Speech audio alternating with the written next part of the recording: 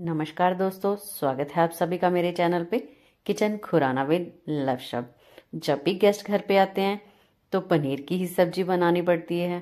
तो चलिए, आज कुछ नया ट्राई करते हैं। तो बनाते हैं एक डिलीशियस सी मटर और मखाना की सब्ज़ी। चैनल पे नए हैं तो चैनल को जल्दी से सब्सक्राइब कर दीजिए बेल आइकन पे प्रेस कर दीजिए, ताकि आपको सभी रेसिपी का नोटिफिकेशन मिलता रहे, और एक प्यारा सा लाइक तो बनता ही है। तो चलिए, बढ़ते हैं रेसिपी की तरफ़। मैंने एक नॉन स्टिक पैन ले लिया है। इसमें ऐड करेंगे बटर या घी। यहाँ पे मैं देसी घी का इस्तेमाल कर रही हूँ। अभी हम मखानों को रोस्ट करेंगे इसमें। दो कप मखाने लिए हैं मैंने। इसको आप ड्राई रोस्ट भी कर सकते हैं, पर यहाँ पे मैं घी में रोस्ट कर रही हूँ, क्योंकि इसका अच्छा सा फ्लेवर आएगा फिर सब्ज़ी में। तो इसको हमने रोस्ट कर लेना है, जब तक ये अच्छे से क्रंची ना हो जाए। ये देखिए, काफ़ी अच्छे से क्रंची हो चुके हैं ये। अभी हम इसको एक प्लेट में निकाल लेंगे ताकि ये ठंडे हो जाएँ। तो चलिए, मैंने पैन ले लिया है, अभी इसमें ऐड करेंगे ऑयल। यहाँ पे मैं ऑयल ले लिया है। ऑयल जैसे ही गर्म हो जाएगा, उसमें डालेंगे कुछ खड़े मसाले, जिसमें बड़ी इलायची, दालचीनी का टुकड़ा, लौंग और तेज पत्ता और एक छोटा चम्मच जीरा।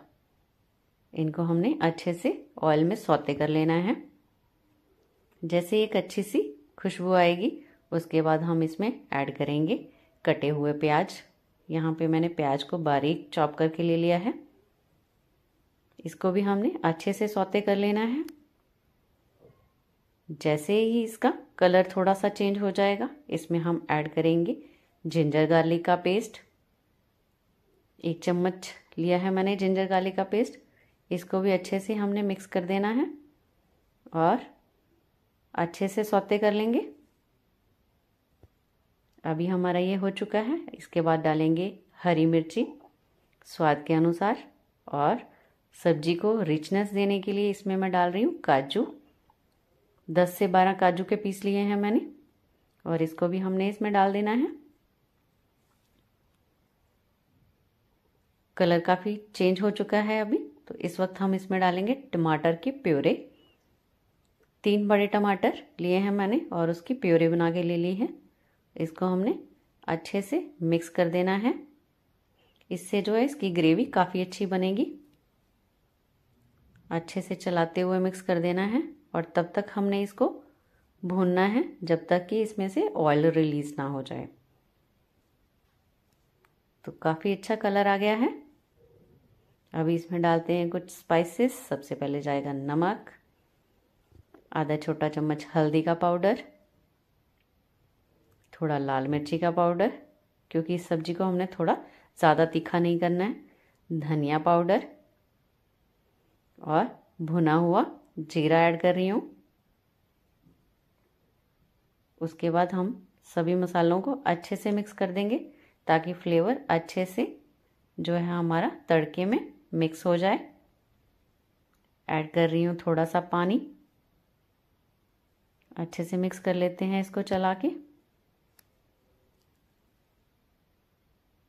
काफ़ी क्रीमी टेक्सचर की ये सब्ज़ी हमारी बनके तैयार होएगी इससे।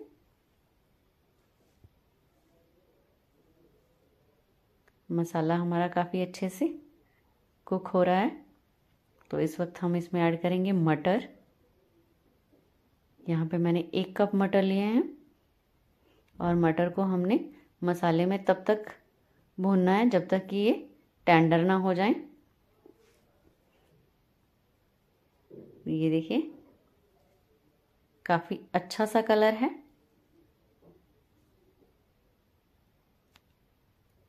अभी इसमें डालेंगे हमारे भुने हुए मखाने। मटर जैसे ही थोड़े से टेंडर हो जाएँगे, उस वक्त हमने इसमें मखाने को ऐड कर देना है। अच्छे से मिक्स कर लेंगे। तो इस वक्त आपने इसकी कंसिस्टेंसी देख लेनी है। अगर तो ज़्यादा थिक है तो इस हिसाब से आप पानी को ऐड करना है। तो यहाँ पे मैंने आधा कप पानी ऐड किया है, क्योंकि इसकी ज़्यादा ग्रेवी नहीं मैं बना रही हूँ। तो आपने इसकी कंसिस्टेंसी चेक कर लेनी है। उस हिसाब से ही पानी को हमने ऐड करना है। अभी इस वक्त इसमें ऐड करेंगे कसूरी मेथी। एक छोटा चम्मच जाएगा इसमें। अच्छे से मिक्स कर देंगे ताकि फ्लेवर अच्छे से इसमें मिक्स हो जाए। और जब हमारी ये कुक हो जाएगी सब्ज़ी तो हमने इसमें ऐड करनी है क्रीम फ्रेश क्रीम का इस्तेमाल कर रही हूँ यहाँ पे मैं। तो ये जो क्रीम है, इस सब्ज़ी को और भी रिच बना देगी, क्रीमी टेक्सचर देगी। अच्छे से मिक्स कर देते हैं। इससे एक प्यारा सा कलर भी आ जाएगा और इसमें डालेंगे हम कटा हुआ हरा धनिया। इस बात का ध्यान रखना है, जब आपने क्रीम डालनी है तो सबसे लास्ट में ही डालनी है जब हमारी सब्ज़ी अच्छे से कुक हो जाएगी। क्योंकि क्रीम डालने के बाद हम इसको ज़्यादा देर नहीं पका सकते हैं।